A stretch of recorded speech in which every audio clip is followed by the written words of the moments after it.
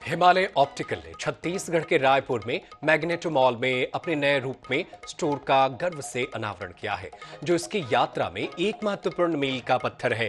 साल 1935 में स्थापित हिमालय ऑप्टिकल लंबे समय से लग्जरी, आईवेयर में अग्रणी रहा है और यह नवीनतम अपडेट, उत्कृष्टता के प्रति इसकी प्रतिबद्धता का प्रमाण है। स्टोर को दिया गया नया नया रूप, आधुनिक और परिष्कृत डिज़ाइन को दर्शाता है। साथ ही सभी अंतर्राष्ट्रीय ब्रांडों के नवीनतम लग्जरी, आईवेयर संग्रह का लॉन्च भी है, जो ब्रांड की प्रतिष्ठा के अनुरूप है। इस कार्यक्रम में प्रख्यात अभिनेता भगवान तिवारी भी शामिल हुए, जो एवेडनेस डे रईस, मसान जैसी कई ब्लॉकबस्टर फ़िल्मों का हिस्सा रह चुके हैं।